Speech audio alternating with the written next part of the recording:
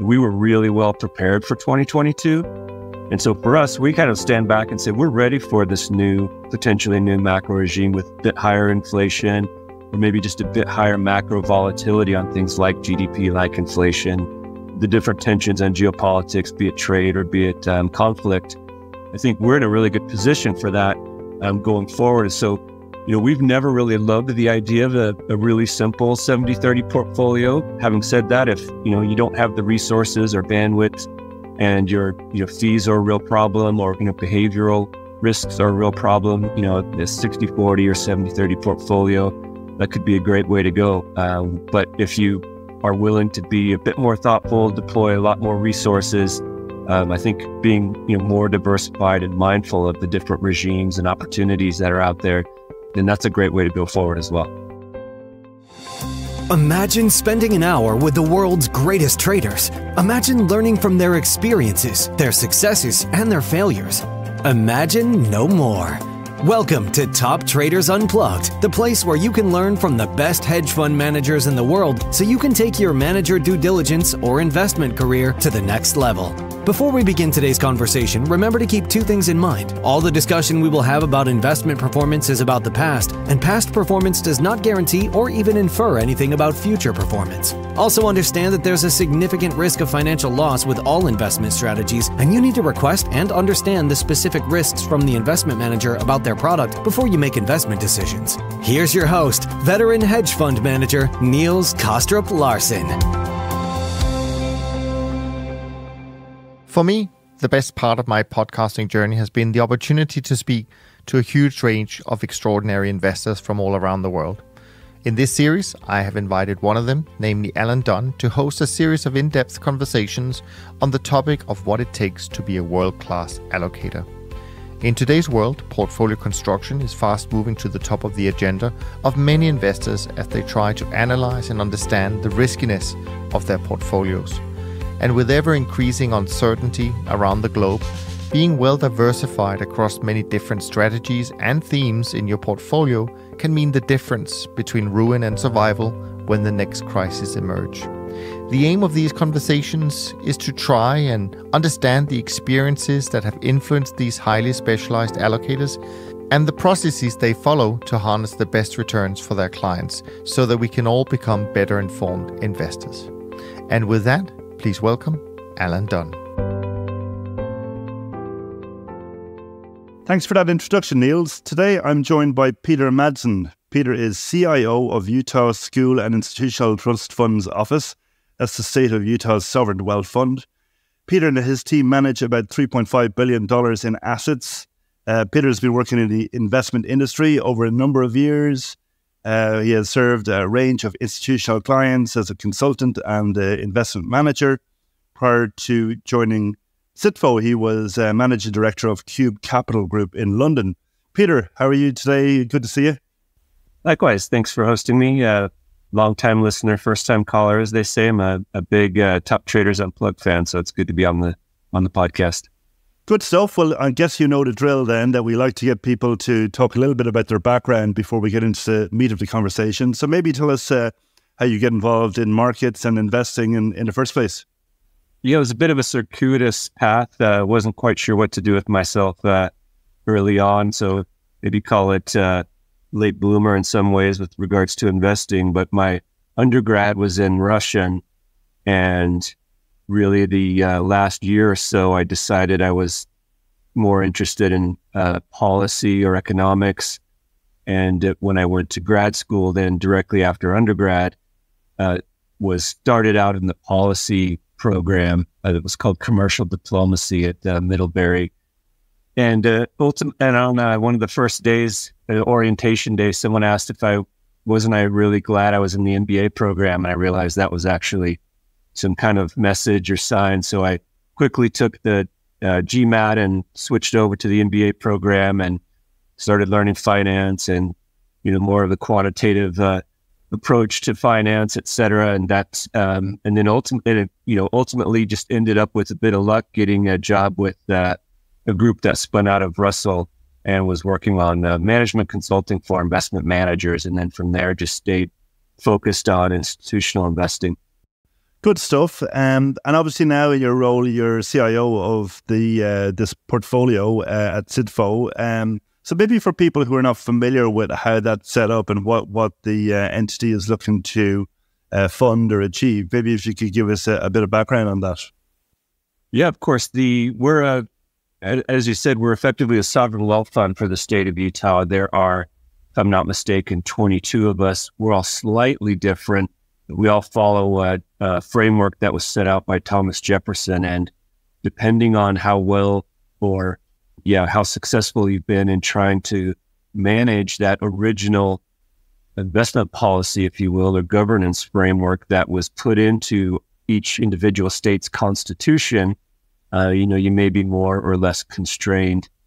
And we, uh, when I started in 2015, we worked to amend the Constitution to allow us to be more properly diversified. Um, but we still have what is uh, we, what we refer to as a corpus. So there, there's a land management group.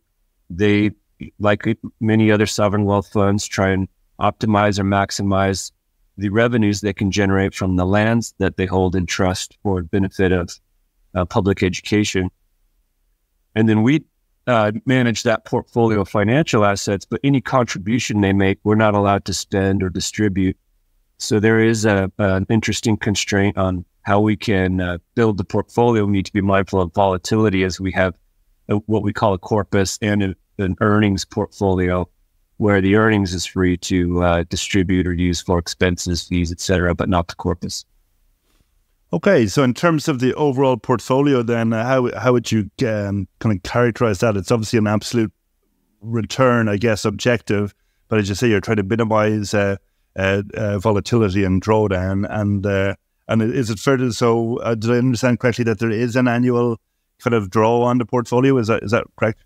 Yeah, that's right. We have a four percent distribution. There's a policy. There's a formula around that, but effectively, it's has a cap at present of 4%.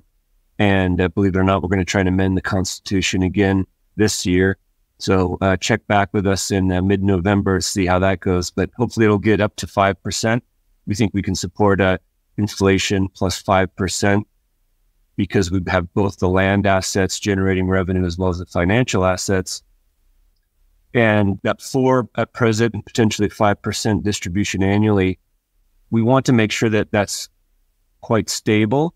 So our distribution policy looks back five years, and there's some other stabilizing factors in there like population growth, student enrollment, et cetera.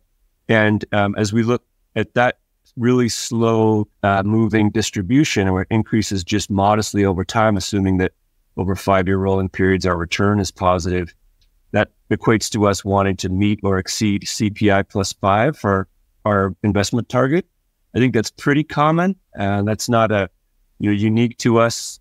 The one aspect, though, that I think is slightly different, may, well, I think most folks would say, but we definitely don't have a priority on measuring ourselves against peers. So we're really focused on that CPI plus five outcome over the long run. We have, of course, a, a benchmark that looks at our asset allocation to see how well we're implementing, and it helps manage risk, and communicate with the trustees that we have you know, looking at that framework. But that uh, we really want a narrow confidence interval around CPI plus five.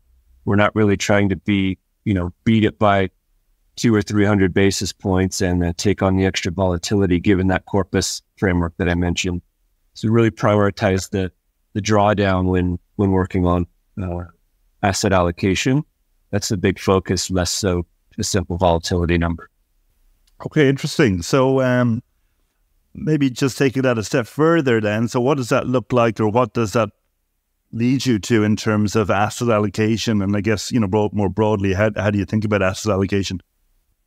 Yeah, we, um, we uh, was fortunate enough to hear um, Harry Markowitz and Peter Bernstein speak. And uh, I think Peter Bernstein referred to the 60, he might be the originator of the 60 40 portfolio, or at least he referenced it as kind of the the simple, you know, almost equal weighted version where it's uh, you're not really making any decisions. And Markowitz actually just said that you know the best starting point or the best portfolio is just uh, 50-50, for example. So equal weighting something is the good starting point. And, you know, that resonated with me. And as you go forward and you think of all the different asset classes you might want to avail yourself of, um, and you equal weight those, it might be a great portfolio on paper, but maybe it's not practical. Maybe the volatility is too high or the returns too low, uh, liquidity factors, et cetera. But as we built our asset allocation, that was a, a type of a starting point. And then we use um, broad categories. Uh, we have growth, real assets, in, income, and defensive. And most of those are risk oriented. Defensive has volatility, but it's not, it's meant to not have any equity beta. But then we have public and private in each of those, not in defensive. That's all public, but the, and, and highly liquid. When we put those in the optimizer, we're trying to have just public equity, private equity, public income, private income, et cetera. And, um, and work with, you know, running the down, the, what we call mean downside instead of mean variance optimization. Uh, we're currently working on a conditional expected drawdown. We have a couple of uh, risk focused analysts here, and that's something that we're working on internally. And we're also looking at uh, working with a third party to.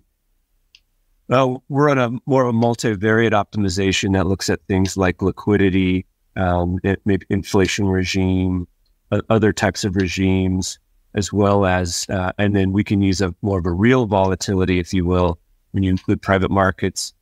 So when we put all that together, uh, we're, we have a little less equity beta, I think, than many of our peers, especially you know permanent capital oriented groups. As we a want to make sure that we don't breach that corpus, and b we want to make sure that that distribution is really stable.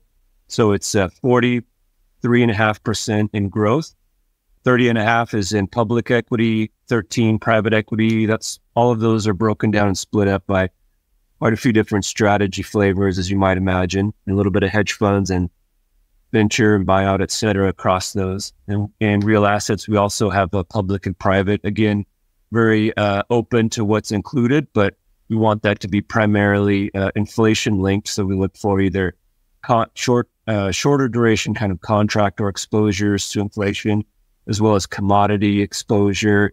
And uh, naturally, we get some equity beta in there, which we're okay with, but we, we try and avoid duration in that bucket.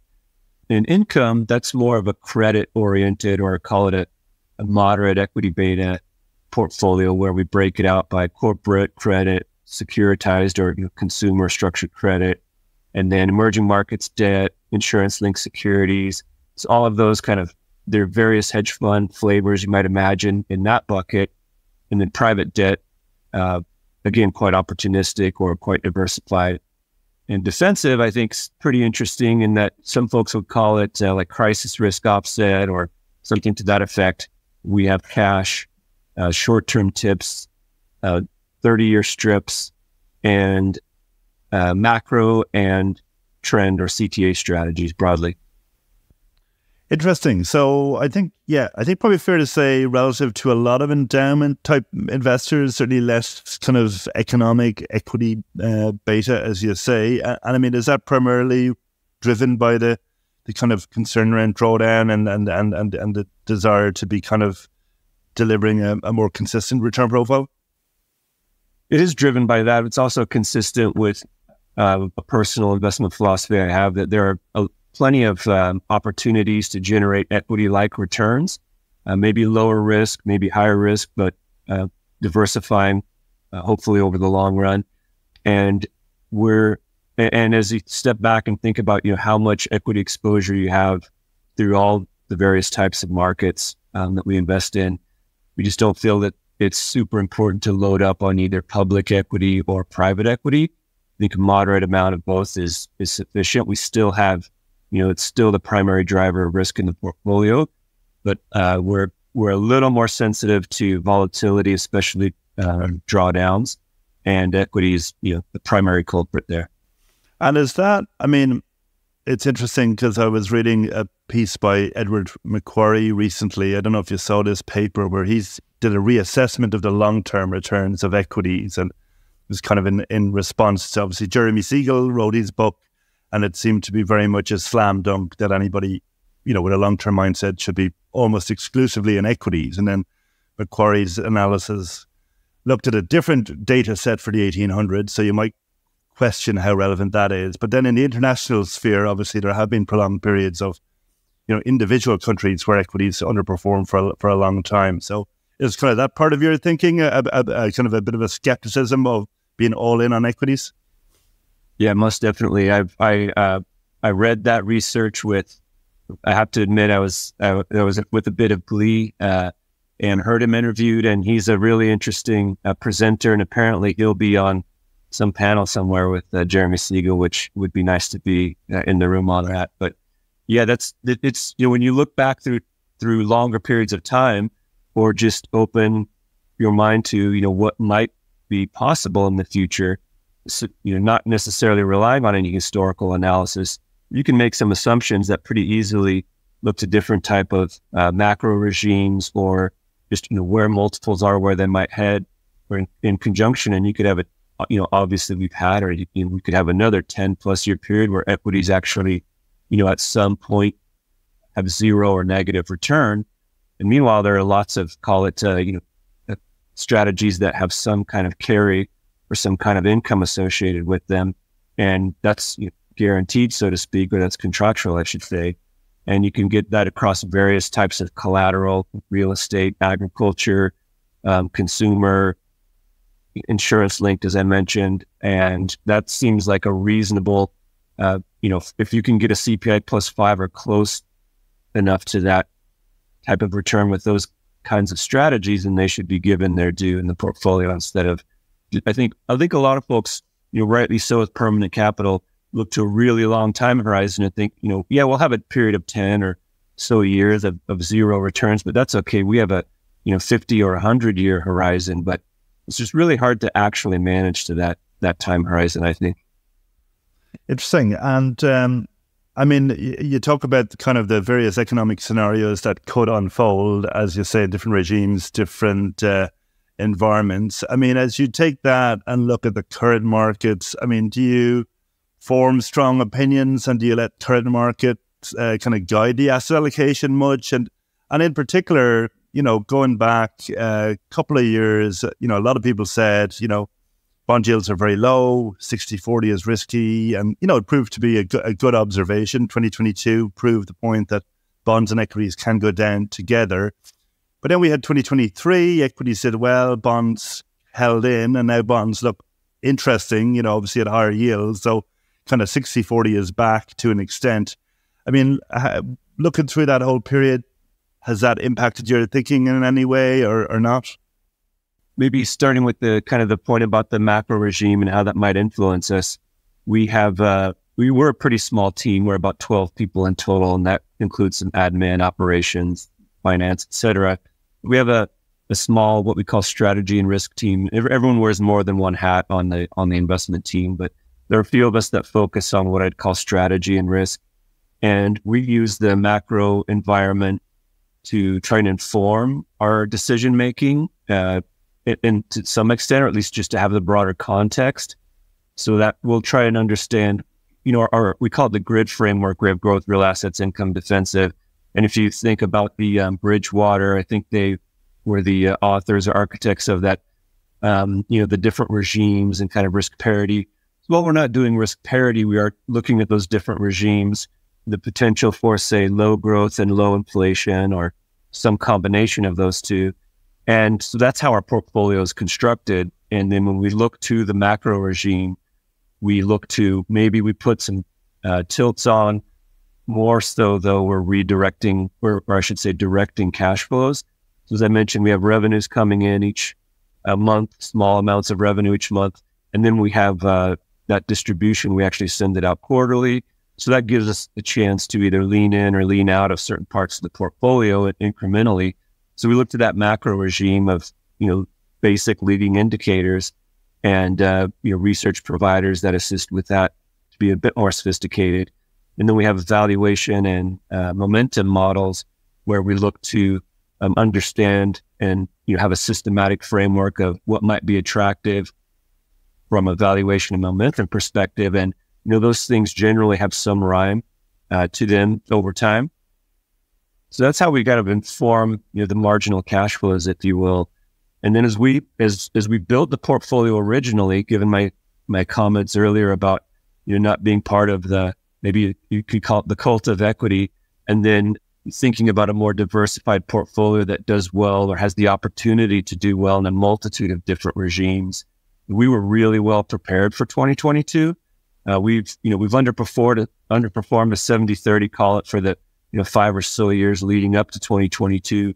It really outperformed in in uh, 22 and kind of kept pace in 23. And so for us, we kind of stand back and say we're ready for this new potentially new macro regime with a bit higher inflation or maybe just a bit higher macro volatility on things like GDP, like inflation, the different tensions on geopolitics, be it trade or be it um, conflict. I think we're in a really good position for that um, going forward. So, you know, we've never really loved the idea of a, a really simple 70 30 portfolio. Having said that, if, you know, you don't have the resources or bandwidth and your, fees are a real problem or, you know, behavioral risks are a real problem, you know, this 60 40 or 70 30 portfolio, that could be a great way to go. Um, but if you are willing to be a bit more thoughtful, deploy a lot more resources, um, I think being you know more diversified and mindful of the different regimes and opportunities that are out there, then that's a great way to go forward as well. Obviously, you know, you'd say you're not part of the cult of equity, but at the same time, equities are pretty much the, the, the largest allocation and definitely probably the largest risk allocation.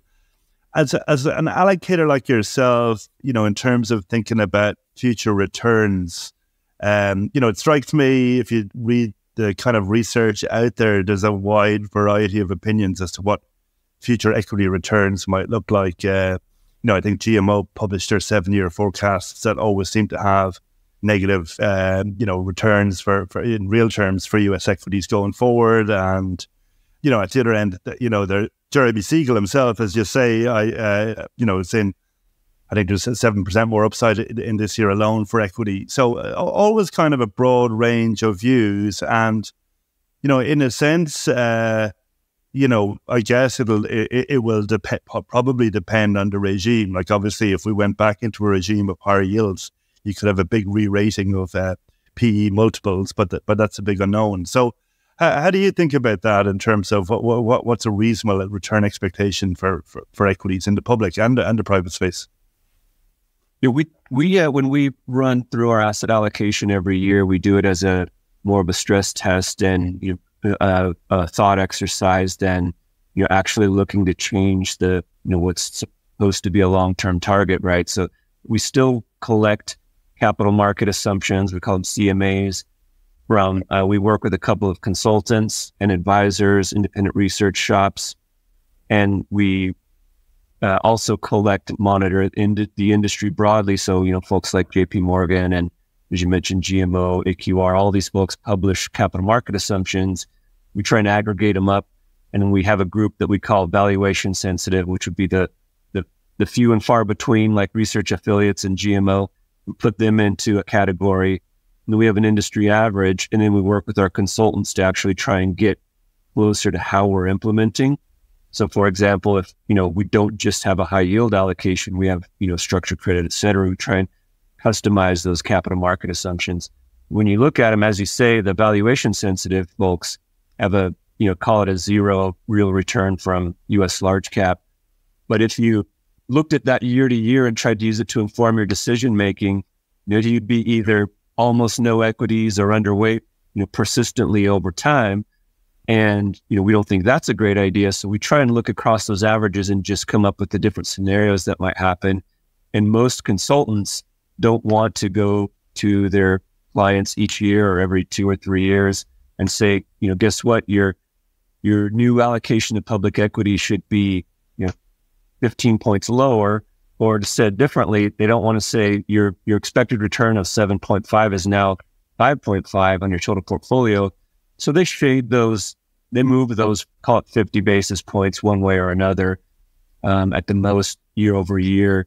So if you think about that framework and you think about what numbers come out of there, potential range would be something over the 10 year period for US large cap, for example, or maybe call it global equity, just because even though that's a, because that's 60 or 70% US, um, there's a range of, was call it a zero to, to plus five real return over the 10 year horizon. And, you know, we'll lean into, uh, you know, over or underweight based on, again, our, our macro, our valuation and, and momentum kind of framework more so than say drop or change the asset allocation. But go forward, expected returns on US large cap look pretty difficult just given where multiples are now. Okay. And obviously, within each of growth and real assets and income, um, you have public and private in, in, in each category. Well, I guess it's interesting because, you know, with the, in this debate that we're hearing now about 60 40, you know, you hear some people saying it's now going to be, say, for 40, 30, 30, and 30 is in privates, or for some people it's 30 in alternatives. But obviously, you've done what, what I think is the right thing to do is putting the privates within the asset class rather than having them as a, a distinct category. But I mean, from your perspective, is that just capturing, you know, what's I suppose the standard view is it's the illiquidity premium. Is is that how you see it, or or, or what's the rationale of splitting between public and private?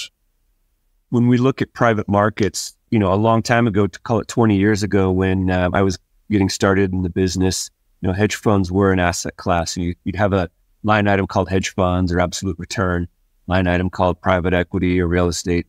And uh, while those are, you know, obviously very different strategies, you know, public equity, private equity, or hedge funds, et cetera, those the underlying exposures are what you're after, and then maybe the vehicle is, you know, related to the business model. So as you say, we we think of private equity as, you know, equity beta. Um, we we do avail ourselves of when the proper, I guess you could call it, or official statements come out, and we use the volatility that that uh, were provided by the consultants when they calculate performance or the custodians. That's a benefit to us. So that's a feature, not a bug. So that's one reason to uh, include private markets. But the other is a huge part of the economy, a huge part of the investable opportunity set are private uh, securities or private assets. And as you know, I think that the, I, I don't remember the numbers, but the number of public companies is shrinking. The number of listed companies is shrinking the number of private companies is actually growing. Not just, I don't think it's just uh, a proportional, but as the economy grows more broadly, it's more in the private markets. And that is uh, an opportunity for just, you know, call it diversification. Um, like I said, that volatility, as Cliff Asness calls it, volatility laundering. That's a feature for some of us, not a bug. You can model the risk, you can model the liquidity risk. And while I'm not sure if there's a liquidity premium or discount. Um, I think there's a debate there. There's a pretty solid uh, bit of evidence that the leverage these folks are able to use and the value add or, or from operations, you know, acquisitions, building companies, growing revenues organically as, as well, that should provide some strong outperformance versus, say, just being a shareholder in a company that you think is going to be um, outperforming. Maybe it does, maybe it doesn't. Being able to be hands on, be in control of the leverage and in control of operations, I think should provide some premium to public markets. But that's a, just a pretty basic standard view. Yeah, and I mean, you touched on this debate with Chris Cliff Asness, volatility laundering, etc., and it is a bit of a bugbear of people in the in the hedge fund industry that that the private markets are marked less frequently and seem less volatile. I guess the key question is, I mean, do you think in an in a severe economic downturn, have you got more equity risk uh, in the private side than in the potentially or, or, or not? Depends on the amount of uh, leverage that's involved and the quality of the companies. M- maybe the sector exposure matters. Say, for example, venture. And if there, if AI turns out not to be anything at all, then you know there's going to be a, a world of hurt in our in our venture exposure. Um, but generally speaking, I think the the equity beta in private markets it's it's difficult to calculate. Uh, you know, we try and look at that. We try and model it. Th- there's a couple of ways of thinking of it. One is those marks, th- those sensitivities are real, but they will be marked at a lag. And so, as we calculate that equity beta, we have the benefit of it being um, diversified by call it time. So, as the public markets are drawing down, they're informing the private markets and in a world like uh, COVID or something that uh, maybe like 2022, private markets maybe get marked down, maybe not, and then maybe stabilize by the time uh, because public markets, public equities are also rallying again. And that provides a sort of stabilizer, if you will, to the equity beta. The real problem is over the long run, if you're not, if the the general partners you're investing alongside, if they're not able to manage those companies well and exit well, then you have you know trapped capital that's not performing or not delivering, and that's the real cost or risk that I think we face. It's less so the drawdown or equity beta per se, and more that the managers don't deliver and that capital is locked up for 12 or more years. Okay. Um, and obviously, within income, you have private credit as well. And obviously, that's kind of been big topic of conversation of late, I guess. You know, very strong growth in that side of the industry and mixed views, I guess. You know, um, some, you know, obviously, it's a source of opportunity and return for for investors, but equally, you know, it seems. I mean, anecdotally, at least, some of the the the, the, rate, the borrowing costs for some of the companies seem very high and, and tend to be variable rate. So, from your seat, do you see that just as an opportunity, or are you in any way worried about sort of something systemic in in the private credit space? Yeah, that's a great question. The uh, the systemic risk is concerning as we you know look to you know like you said on the one hand we're looking at really attractive rates that we're uh, that are being reported to us you know where these where any given deal might be inked as of late. Um, worse so is the underwriting that was done, assuming you're making some assumptions about rates and companies who are bearing that interest rate burden now. But I think as as long as we're with, uh, you know, we used to call it uh, extend and pretend uh, for the from the macro perspective when uh, with with regards to policy and you know solving some of the problems with the banks. And I think that's uh, a phrase that we could use at the private credit, corporate credit level. However, I think that's there is actually some benefit to that. If you're collaborating so to speak, or negotiating with the underlying companies as a GP, and that saves you, you know, maybe it costs you a couple of points from what you might have perceived from your original underwriting. Um, it, it's better than uh, putting that company out of misery, unless that's uh, putting them into misery, depending on your perspective, unless that's part of your strategy. So we we invest across uh, the spectrum of you know direct lending or performing credit. There we try and look for smaller manager, or I should say, you know, uh, funds that make loans, smaller size loans to smaller companies where they are able to have really strict covenants and um, they're not, you know, price takers, if you will. They're controlling that that obligation. We also invest in like capital solutions or special situations type funds where they are there to, you know, help out a stressed company. We also invest in in straight distressed or or opportunistic where it's either an off the run situation or it's proper distressed and they'll take over. Maybe it's a way to actually control the equity. And given we're diversified across those buckets and we have managers who will flex in and out of each of those categories as well, uh, it's not particularly concerning for, for us in our portfolio. We do see it as an opportunity, but it is definitely concerning if, you know, if certain companies that aren't performing well their interest rate burden is has doubled or tripled in the last year. Well, one area of your portfolio that's definitely, I, I would say, differentiated is is probably on the defensive side, and and you have, as you say, tips, and then a, a category called systematic convexity, um, which is uh, it seems to be trend following macro and uh, and long vol. I mean, that seems to be very much uh, in line with the kind of first responder, second responder kind of philosophy. Is it was that kind of in mind when you constructed that portfolio? Yeah, definitely. Uh, I've, got a, a, fun anecdote. At least I think it's kind of uh, interesting. Where I was new to institutional consulting, um, was working my way up to advising clients, uh, supporting some more of the more senior advisors, but being the uh, you know the the mid person, if you will. You know, the client would often call me directly. They could reach me and you know just put me to work uh, directly. And I got a call from a CIO of a state pension plan, and he asked me what our views were on CTAs and uh, strategies like global macro.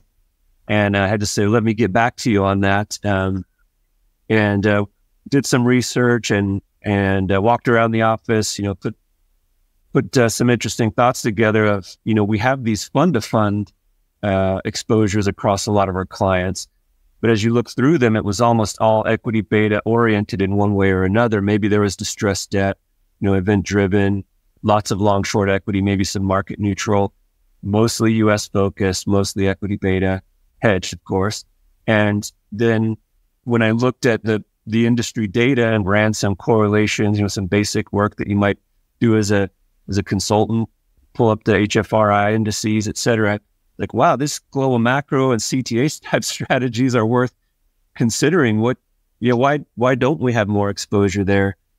Uh, did a bit of research, uh, brought some folks into the office, um, you know, some big names that asked, you know, had educational sessions on what is global macro, how's it different from global, you know, GAA or GTAA, and what's the difference, and what is CTA, what is trend, and and at the end of the day, uh, you know, the firm decided that wasn't something we wanted to pursue for our clients, and uh, believe it or not, this was I don't remember the exact timing, but it was uh, some point in 2007 maybe early 2007.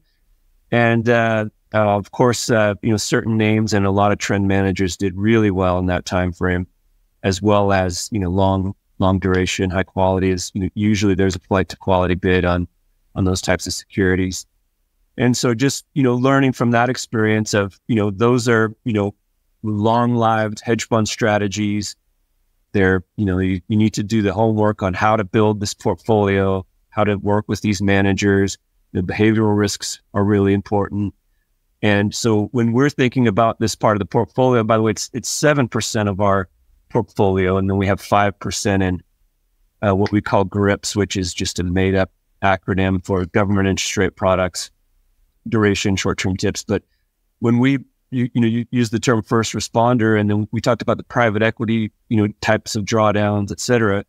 And our view is we we'd like to we think uh, CTAs and macro can can hedge us against most importantly equity beta, but then secondly or thirdly in, uh, interest rate risk slash commodity risk or shocks. So we think that's a great tool to have in the portfolio. Obviously, very liquid. When when we put that portfolio together, we're trying to find strategies that have that convexity early on and it's quite strong maybe there's a bit of you know whipsaw risk on those faster speeds or uh, macro strategies to have that property as well.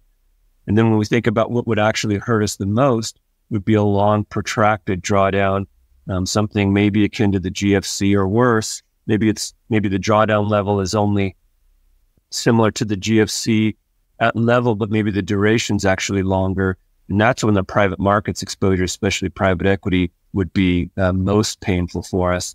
And so we do have a somewhat of a bias to medium and long term trend following strategies as well. We had some experience with tail hedge strategies, and we we decided to move away from those types of exposures. We had some what we'd call carry or diversifiers in that portfolio at some point to you know kind of pay for the tail hedge. And at the end of the day, we took both of those off and decided we actually just want a trend and macro, and especially given kind of the view on the economic regime where you know, maybe cash goes, you know, maybe cash runs at two to four percent, you know, somewhere in there over a period of time. Maybe doesn't stay at five, maybe doesn't go higher. But that's a nice backdrop for both trend and macro strategies. And we actually really want that convexity. We don't want it muted by either the carry and we don't want to pay the cost of the tail hedge. We really just want the convexity. So there's a few interesting points to bring up from that. Um, I mean, one, going back to your experience of the firm in 2007, who did all the analysis, um, convinced themselves of the benefit of CTAs from a pure portfolio diversification perspective and still didn't invest. Why, I mean, why do you think that was? And is it, I mean, more generally, it's the question of why more people don't invest. I mean, I have my own views on this, but curious to get your thoughts on, on that. Yeah, you know, it, it is a bit of a mystery, and uh, I I left out um, you know a little bit of extra context after um, you know working at RVK. I uh, worked for a hedge fund group in London, and we had both direct and uh, multi-manager programs that we uh, offered. And in the multi-manager program, there was an allocation. Uh, it's where I got the term defensive and borrowed from this ideas. You know, it had macro and trend, and you know, we had tail for a bit, and it was a standard protocol, right? In in uh, Europe, I'd say it's you know pretty common hedge fund strategy to include in your portfolio. Maybe it's not in everyone's, but more common than in the U.S.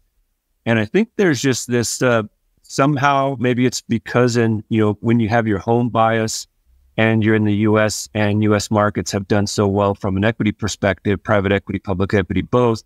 Maybe you think the need for uh, diversifiers is less important. I'm not sure if, if that's quite it And I'm just not sure why these, uh, because people in the US, endowments, et cetera, they like hedge funds, they like quant strategies.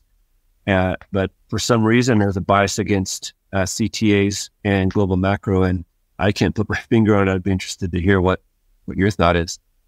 Yeah, I mean, I, I think it depends. I mean, I think in in some places, uh, people very often people running multi-asset portfolios come from a bond or equity background, and, and they just are not comfortable or, or familiar with the strategies. I think that's one thing. Obviously, the return profile is very different, and zero correlation means zero correlation. So you will have periods when equities are doing well, and, and these strategies are not, and that can be challenging. I know for, for people to hold, but but no, it is interesting. And um, I guess another point to ask you. I mean, you, you classified them in, in in the defensive bucket, uh, which I, I, guess is, is is not unusual. But obviously, CTAs and macro can, in theory, you know, uh, make make uh, returns in, in in many different types of environments. And, and obviously, at the moment, I, you know, CTAs, I'm guessing, would, would generally probably be long equities, probably long, possibly long bonds as well. But you know, they have that kind of all weather potential. Obviously, they they they have uh, uh, drawdowns, uh, which can be lengthy as well. Are you looking at them primarily as diversifiers, as vol dampeners, or are you also thinking of them as uh, return generators? Yeah, good good question. The the framework we have set for ourselves is that uh, the, the defensive bucket overall needs to be zero or negative uh, equity beta expected or zero correlation and uh, cash or inflation plus two and a half percent return. So it's a pretty low return hurdle. Um, you could think of that as an opportunity cost in some ways.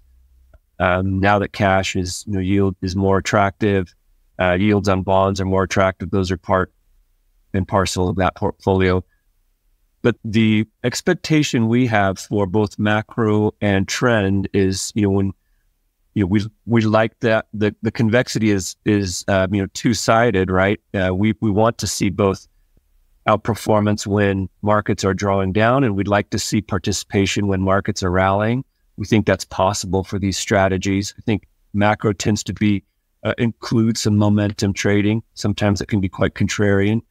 We do have a positive overall, modest expected return that I would say is competitive with, for example, what the capital market assumptions are for broad you know global equity markets, I think you can expect uh, call it six or seven percent return from a portfolio of trend and macro managers over over the next ten or so years. That's that's a reasonable, if not optimistic, assumption for global equities as well. Absolutely, and I mean, people always talk about their allocation to these strategies, but but uh, obviously, from a portfolio risk contribution, uh, a lot depends on what level of volatility the underlying managers are, are running at. So, how do you think about that? Are you targeting a level of vol for that kind of element of the portfolio, or just generally looking for kind of typical CTA type vol, or, or what's your thought process around that? You know, since we're a, a smaller fund, I mean, three and a half billion is a, a lot of money, but we're we don't have the resources or capital allocated enough to do separately managed accounts. So our version of capital efficiency is effectively to just go into the highest vol share class that's on offer. And, you know, fees, you know, vol adjusted fees are, as you know, they're depending on the manager you're working with, but reasonable. It's just, you know, that's uh, from an optics perspective, they're higher on the higher vol share class, but it is more capital efficient.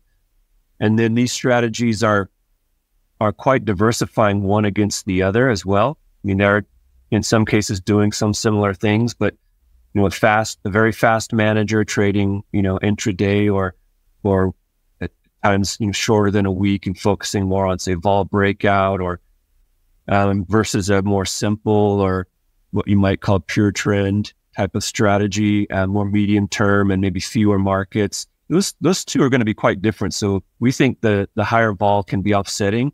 Then most importantly, we zoom out to the total portfolio level and the contribution to risk when we model this out is actually uh, it's negative, if you will. So you know, we you show contribution to volatility, you see obviously the public equity portfolios, you know, peak, you know, the one way over on the right, and then you get this small little negative contribution from uh, from the defensive bucket and the underlying and the strategies underlying.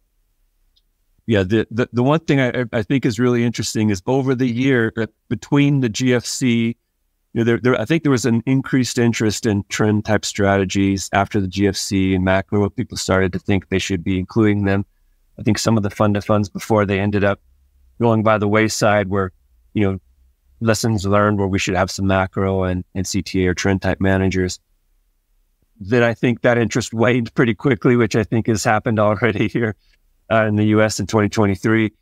I think a lot of the managers, right, started adding uh, what we call carry or diversifying components, you know, models to those strategies to reduce that volatility to get a higher standalone Sharpe.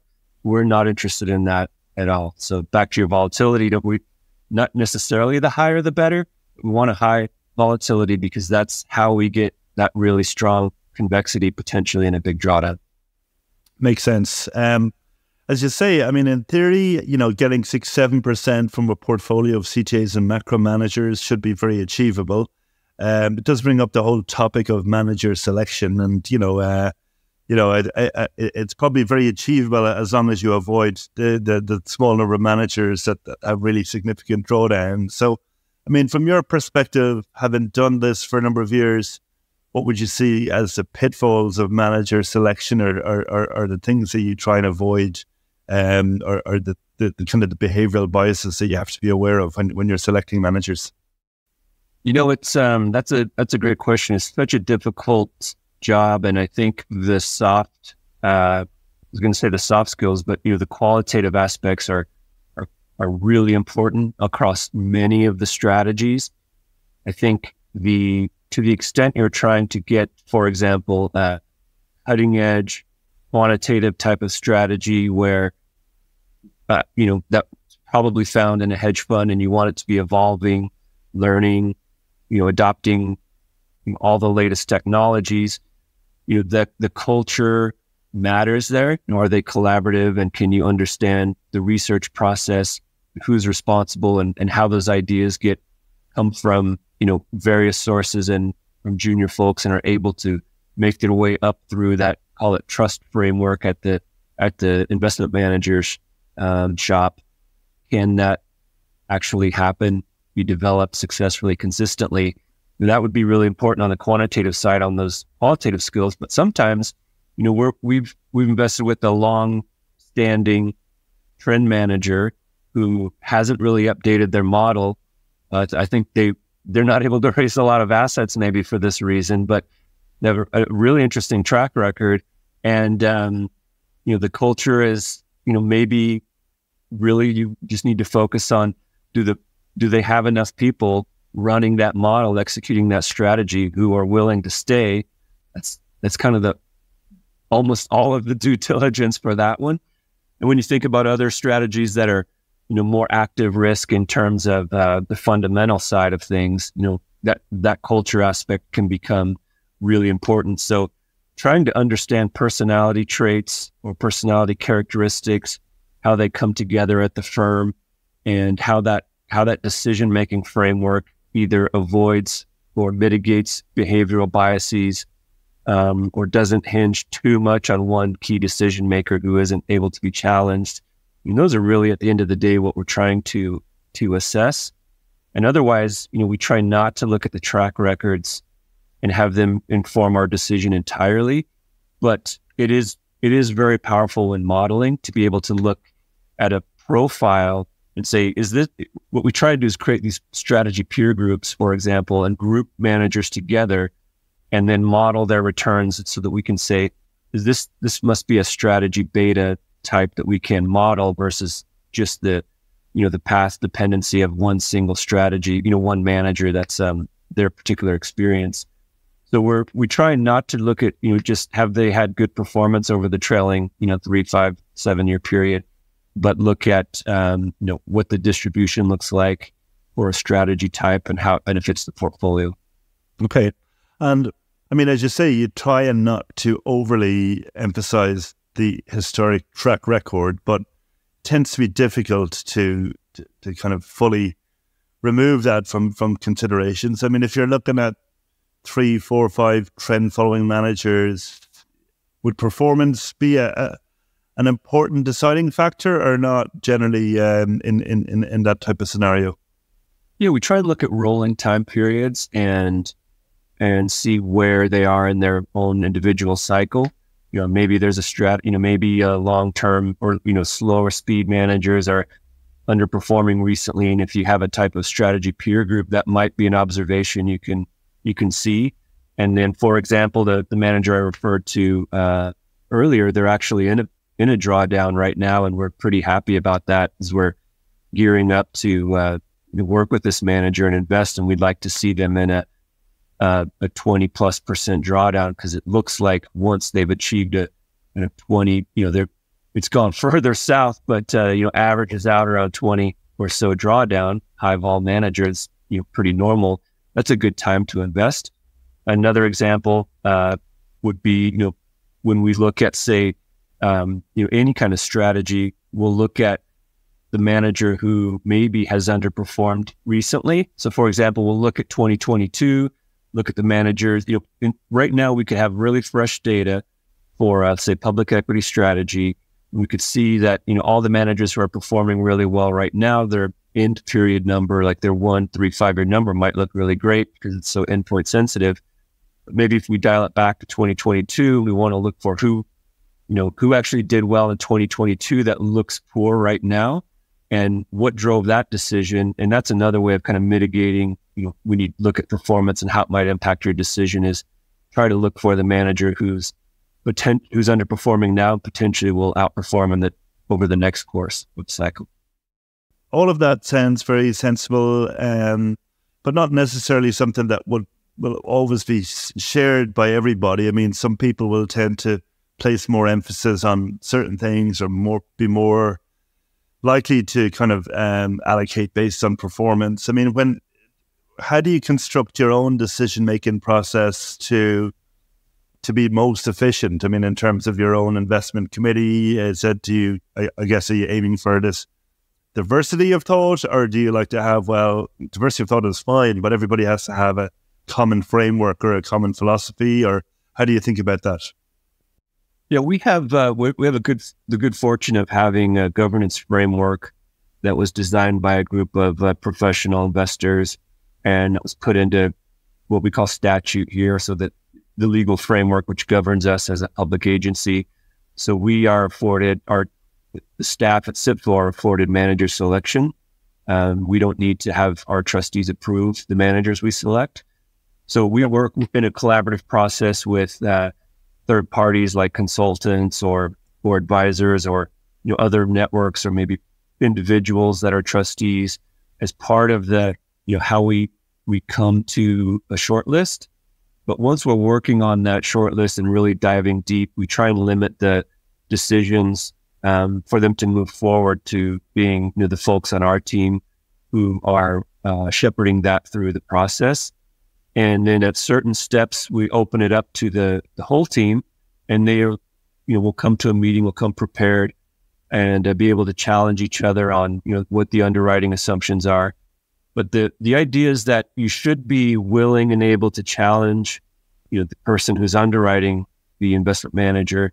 That person should be able to receive those challenges without feeling um, like they're being criticized, and all of that needs to happen within a common framework, as you said. So we have uh, investment beliefs; they're available on our website. And we also have, uh, w- which include beliefs or philosophies for each asset class as well as uh, we, will have a thesis that we set forth before working with a man, before selecting a manager. So, you know, there are things, overarching beliefs, you know, about passive versus active or working with smaller capacity constrained managers. Those things can kind of be true throughout the portfolio. But then maybe if we're looking at, uh, you know, something that's fairly narrow, we'll make sure and develop a thesis for, say, you know, venture in Europe. Why are we going to venture in Europe? What's the thesis behind that? What are we looking for when we do go into venture in Europe?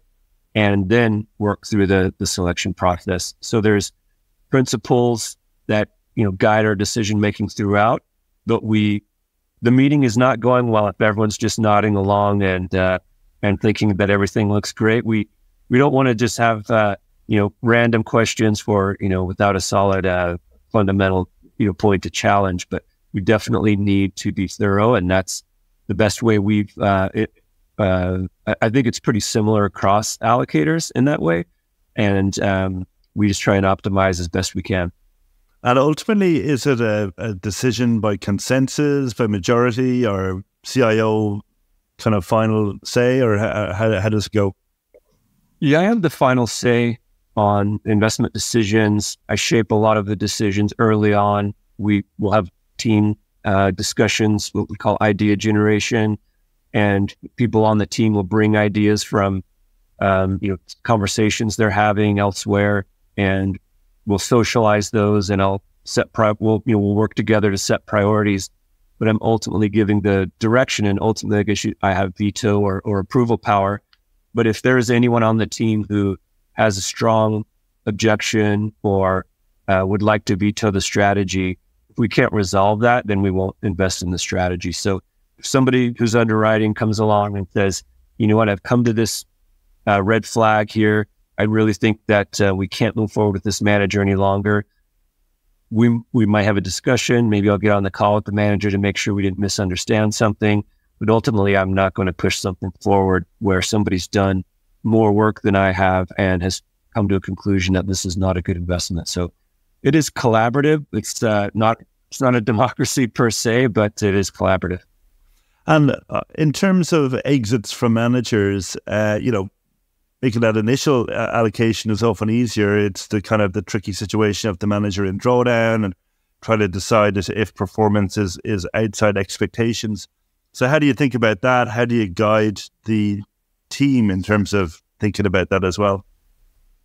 Yeah, that one's tough because it's easy to get, uh, I don't know if you could say, uh, demoralized around you know manager underperformance and behavioral risk gets really strong when you're presenting to your trustees and you're showing some underperformance and and you know the, the it, would be nice to be able to say you know this manager has made a mistake not me and so we're going to rectify it. Um, really we, we have to make sure that we understand you know why we would be firing this manager in the first place. Uh, we so we call it a, a pre-mortem. And we have a, a checklist of sorts where we go through all the things that could go wrong have gone wrong in the past or lessons learned that we've borrowed from other folks. And we try and make sure that we understand what could go wrong. And then we put in our, what we call our thesis memo in advance that, you know, the rationale for firing the manager.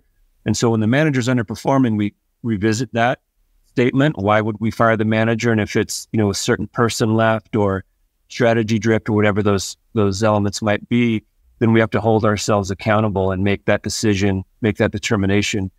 Um, we we might actually, or I maybe I might actually be overly patient um, because I've seen the research, really concerned about behavioral biases, and seen a lot of examples of mean reversion at the active manager level that really go against um, you know, firing managers based on short-term performance. So it does happen. Uh, it has happened a few times, uh, but maybe uh, you know, let's let's say a handful of times in the last eight years. And do you find with your pre-mortem, is that pretty good at capturing the, the full set of reasons why you ultimately might get to remove a manager? Or do you find other factors come along that you hadn't anticipated? Other factors come along, yeah. We didn't, uh, we, we had one manager that was uh, a macro manager that we no longer work with where um, the, it seemed that, you know, there were some changes on the team, but um, that we we were willing to overlook that because it was one, you know, one key person was no longer on the team, but still at the firm, promotion, if you will. And we thought, oh, we, you know, that's not the reason why. And, uh, you know, performance, underperformance was, you know, preceded that. It was persisting. And then it got uh, protracted and maybe worse. And it seemed that as we spent more and more time with the team, that they were losing confidence in themselves and were, were having a hard time sticking to what their thesis was. And not that people should be able to change their mind, but it seemed like it came from a place of uncertainty and less so from a place of the process, you know, driving those decisions.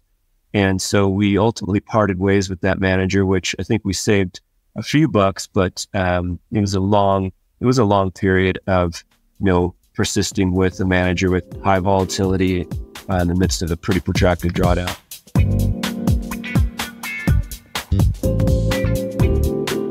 Okay, good stuff. Well, I'm conscious of time, and uh, we're coming up towards the uh, the hour. So we, we always wrap up by, by just getting our guests to, to offer any advice that they may have for people who are maybe starting off in their careers or people who want to develop a career as a CIO or, or global macro investor. I mean, what are the things that you've done or read that have been particularly helpful in terms of uh, your journey to becoming a CIO? Being intellectually curious is probably the most important thing. If if you're uh, at a high, I mean, at, for any investor, um, being a call it a team leader, being responsible for things like vision and macro strategy, if you will, or just the framework for decision making, as well as being able to look out over time, look across the portfolio and the opportunity set. Really need to be open minded, really curious, and um, that means doing a, a lot of reading and a lot of homework and I, you know, I like the fact that I was uh, call it a, a, liberal arts major. I studied uh, Russian, learned a lot about Russian culture, Russian literature, learned a lot about the Soviet Union and how those, how that regime operated, and that, and then traveled quite a bit, and that gave me a really good framework, I think, for looking past, you know, the home bias that we tend to have here. Uh, I think it's especially pronounced in the U.S. And as if I'm thinking about, you know, my younger self, I talk to a lot of people, but I to find out what I should be interested in and how I should proceed, what pro tips people had, what advice.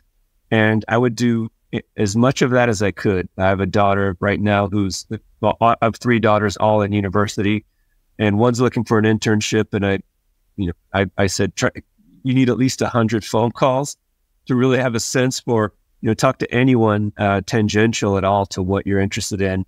Ask them as many questions as you can. Build on each conversation, or you really have any inkling of what it's like, you know, to be in that career in that career role or that industry. Um, and I, I, think you asked about uh, what maybe what, what, books to read. Um, there's a new one that I think a few uh, of us are all talking about. It's by Anna Marshall. I think it's called the Investment Climb to Excellence. I taught a, uh, uh, I was an adjunct professor for a couple of years here at the University of Utah. taught an institutional investing class, and uh, I, it would have been nice to have that book. I would have used it as my textbook. Um, of course, we read you know David Swensen's book and Long Term Capital Management, a few others that, um, but the coursework overall and how that uh, generally followed the nature of that book, which really covers uh, the role of a uh, institutional investor, I should say, maybe an allocator starting with governance and what that includes and you know building teams and the process, et cetera. And another interesting book that I think um, allocators should read is, uh, or people who are interested in managing portfolios more broadly, multi-asset class portfolios, is called Strategic Risk Management. It's uh, Cam Harvey, Sandy Rattray, and um, is it Peter Van Otterloo? I'm sorry if I if I've gotten that right. I know, I know the book you're talking about. I have that one as well. Yeah, but uh, um, I know, yeah, Sandy Rattray and definitely uh, Cam Harvey. I can't remember the last person. Yeah, yeah, but that th- I think they're all three at Man or affiliated with Man or were at Man, one form or another at the time. And that book, I think you know the, the chapters are pretty straightforward, and it's really focused on you know some uh, I, I don't want to say basic, oversimplified, but those techniques of you know, volatility target, targeting, including trend, um, you know, being mindful of and how to manage drawdowns. Those are all tools that I think allocators tend to not um, avail themselves of necessarily because it's a lot of folks want to you know, set the long term allocation and then really focus on manager selection. And I think that's super important. But the risk management piece can be somewhat active as well with some broader tools from quantitative managers like trend managers macro managers that that asset allocators could use as well. Okay, great. Well, that that's a very comprehensive uh, set of uh, uh, of recommendations. Uh, so, Peter, thanks very much for, for, for doing this. It's been a great conversation. So, make sure to follow Peter's work because, uh, as you can tell from today's conversation, it's an uncertain environment we're in, uh, and more important than ever to be informed in terms of allocating capital. So, from all of us here at Top Traders Unplugged, Thanks for tuning in and stay tuned for more content. Thanks for listening to Top Traders Unplugged. If you feel you learned something of value from today's episode, the best way to stay updated is to go on over to iTunes and subscribe to the show so that you'll be sure to get all the new episodes as they're released. We have some amazing guests lined up for you, and to ensure our show continues to grow, please leave us an honest rating and review in iTunes. It only takes a minute, and it's the best way to show us you love the podcast. We'll see you next time on Top Traders Unplugged.